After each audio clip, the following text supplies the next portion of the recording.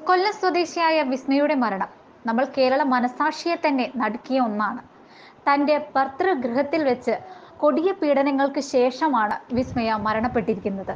വിസ്മയുടെ ഭർതൃ വീട്ടുകാർക്കും ഭർത്താവായ കിരൺ കുമാറിനും വിസ്മയുടെ മരണത്തിൽ പങ്കുണ്ട് എന്നും വിസ്മയുടെ മരണം ആത്മഹത്യ അല്ല അത് ഒരു കൊലപാതകമാണെന്നും വീട്ടുകാർ ആരോപിച്ചിരുന്നു. ഭർത്താവിൽ നിന്നും ഭർത്തൃ വീട്ടുകാരിൽ നിന്നും പലതരത്തിലുള്ള പീഡനങ്ങൾക്കും മർദ്ദനത്തിനും ഇരയായ വിസ്മയ അവസാനം സ്വന്തം ജീവിതം ഒടുക്കുകയായിരുന്നു. വിസ്മയ ആത്മഹത്യ ചെയ്തു എന്ന് തന്റെ വീട്ടുകാരും അതുപോലെ തന്നെ തന്റെ അടുത്ത സുഹൃത്തുക്കളും വിശ്വസിക്കാൻ തയ്യാറായിരുന്നില്ല. കൂടാതെ വിസ്മയ തന്റെ സുഹൃത്തുക്കൾക്കും അതുപോലെ തന്നെ വീട്ടുകാർക്കും അയച്ച വോയിസ് റെക്കോർഡുകൾ ഇപ്പോൾ സോഷ്യൽ മീഡിയയിൽ ചർച്ചയായി മാറിയിരിക്കുകയാണ്. താൻ മർദ്ദനത്തിനിരയാവുന്നതും തന്നെ പീഡിപ്പിക്കുന്നതുമായ എല്ലാ വിവരങ്ങളും വിസ്മയ തന്റെ സുഹൃത്തുക്കൾക്കും വീട്ടുകാർക്കും അയച്ച വോയിസ് റെക്കോർഡിലൂടെ വ്യക്തമാണ്. ഭർത്താവായ കിരൺകുമാറിൽ നിന്ന് മർദ്ദനത്തിനിരയായ ദൃശ്യങ്ങളും വിസ്മയ തന്റെ സുഹൃത്തുക്കൾക്ക് പങ്കുവച്ചിരുന്നു. കിരൺകുമാറിന്റെ തെറ്റുകൾ ഭാഗികമായി തെളിയിച്ചതോടെ കിരൺകുമാറിനെ ജോലിയിൽ നിന്ന് പിരിച്ചുവിടുകയായിരുന്നു. എന്നാൽ ഇതുവരെ വിധി വന്നിരുന്നില്ല. ഇന്നാണ് വിസ്മയ കേസിന്റെ വിധി പ്രഖ്യാപിക്കപ്പെട്ടത്. കേരളം മുഴുവൻ കാത്തിരുന്ന ഒരു വിധി തന്നെയാണ് ഇത്. കൂടാതെ ഓരോ അച്ഛനമ്മമാരും ആഗ്രഹിച്ചു പോയ വിസ്മയുടെ ചേട്ടൻ ആഗ്രഹിച്ച വിധി തന്നെ ആയിരിക്കും ഇത് എന്നതിൽ സംശയമില്ല. സ്ത്രീധന പീഡനം തെളിഞ്ഞു എന്ന് കോടതി പ്രഖ്യാപിച്ചു. കിരൺകുമാറിന്റെ ജാമ്യം റദ്ദാക്കുകയും ചെയ്തു. അഞ്ചു വകുപ്പുകളിൽ കിരൺകുമാറിന് ശിക്ഷ വിധിച്ച് വീണ്ടും ജയിലിലേക്ക്.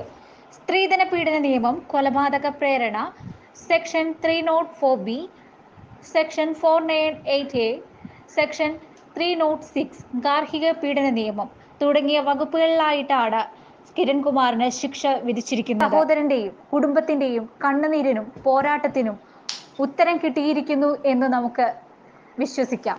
ഉപ്പ് തിന്നവൻ വെള്ളം കുടിക്കുക തന്നെ ചെയ്യും. കിരണിനോടും കിരണിന്റെ കുടുംബത്തോടും ഒന്നേ ഒന്ന് പറയാനുള്ളൂ.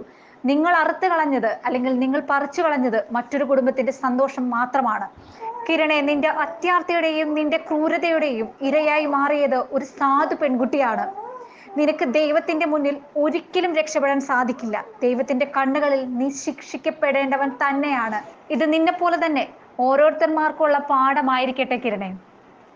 ഓരോ ദിവസവും പൊലിഞ്ഞു വീഴുന്ന പെൺകുട്ടികളുടെ എണ്ണം ദിനം പ്രതി കൂടിക്കൂടി വരുന്നതല്ലാണ്ട് കുറയുന്നില്ല. കാരണം നിന്നെ പോലെയും നിന്റെ കുടുംബത്തിലുള്ള ഓരോരുത്തരെ പോലെയുള്ള വേട്ട മൃഗങ്ങൾ ഉള്ളതുകൊണ്ട് തന്നെയാണ് ഇത്തരത്തിലുള്ള പ്രതിഭാസം സംഭവിച്ചുകൊണ്ടേയിരിക്കുന്നത്.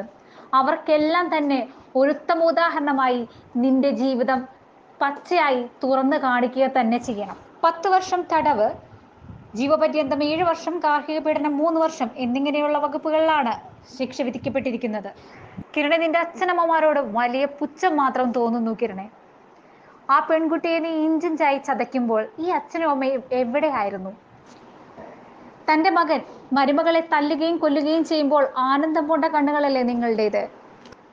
ഇനി മുതൽ തങ്ങളുടെ മകൻ ജയിലിൽ ശിക്ഷ അനുഭവിക്കുന്നത് കൂടി കണ്ട് സമാധാനത്തോടു കൂടിയിരിക്കും ഇത് തന്നെയാണ് നിങ്ങൾക്ക് നൽകിയിരിക്കുന്ന വലിയ പാഠവും.